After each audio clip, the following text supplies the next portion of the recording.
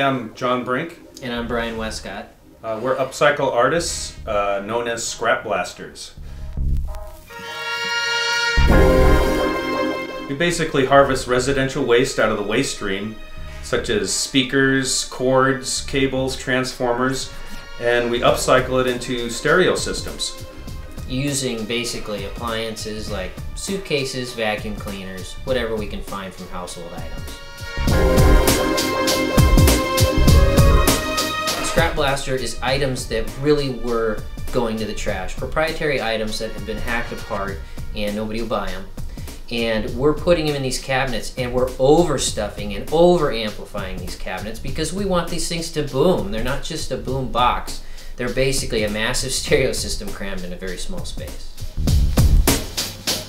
Using the Scrap Blasters is easy. Just use a standard eighth inch jack.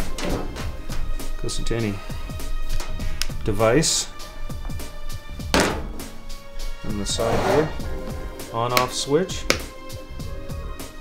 Volume and tone control on this particular unit.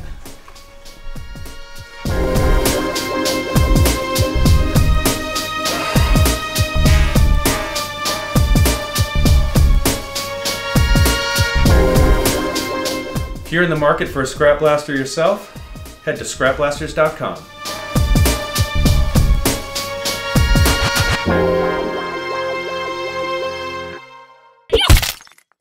Oh.